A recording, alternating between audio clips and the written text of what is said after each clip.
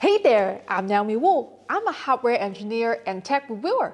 One of the things I've been doing the last two years is reviewing masks and other science based tools to fight the pandemic. Right now, I've got this can of spray paint. I'm going to touch up my e bike in a minute. Do I wear surgical masks like this? No, of course not. The paint will get all in around the sides of the mask and in my lungs. Everyone who knows anything about DIY knows you need a respirator when working with any kind of aerosol. Basic stuff. Well, we now know for certain that COVID 19 is an aerosol. That means we need masks that fit, and the better they fit, the lower the viral load in the air we're breathing, and the less chance we have of getting infected.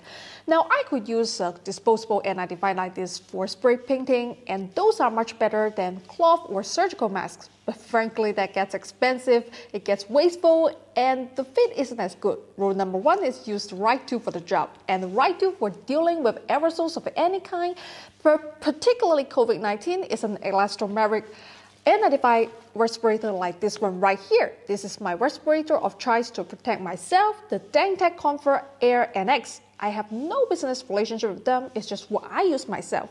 It's American made and NIOSH N95 certified. The one difference between this and what you get down at a local hardware store is it filters the air both ways when you breathe in and when you breathe out because that protects other people. We've all done jobs with people who are dangerous and careless to work around, and we don't want to be that person. I like my Dentec because it's comfortable to wear, it's easy to breathe in, and people can still understand you pretty clearly.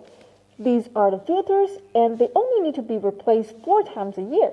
That's it, folks. Use the right tool for the job and wear the right protection. Sometimes that's steel toe shoes, sometimes that's an N95. You can get this one at shopdentecsafety.com.